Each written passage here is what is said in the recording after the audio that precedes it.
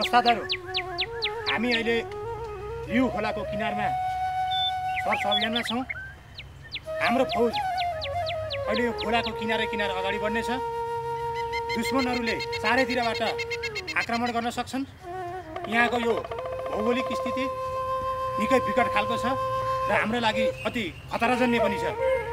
तपाईँहरूले गस्तीमा अगाडि बढ्दा एफेन्सिभ र डिफेन्सिभ दुइटै पोजिसनहरू लागू गर्नुहोला। जब दुश्मनहरू सामने आउँछन् उनीहरूलाई एकपछि अर्को पोजिसनमा फायर गर्ने सेक्सन कमान्डर टुआइसीहरू सबैले आफ्नो टोलीलाई सही रूपमा नियन्त्रण गर्नुहोला। तपाईँको अलिकति पनि गल्तीले टिममा ठुलो हानि नोक्सानी पुग्न सक्छ। र सबैले कुरा बुझ्नुभयो होइन?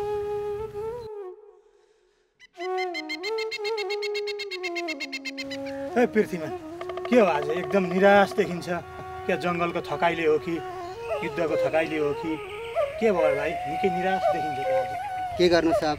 गाउँघरको याद आउँछ। बिचरा बुढा बाबा आमा के गर्दै हुनुहुन्छ होला? बालबच्चा पनि मलाई सम्झिरहेका होलान्। ए पृथ्वीमान आयुको छोरालाई बायुले खाँदैन भाइ। मर्नु छ भने जहीँ गएर पनि मरिन्छ क्या।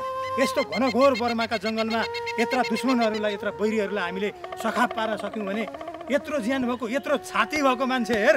यसपालि दसैँमा तँलाई छुट्टी दिउँला घर जालास बाउआमा भेट्लास् जान बाल बच्चाहरू भेट्लास् रमाइलो गर्लास्। कसो हुन्छ हुन्न त?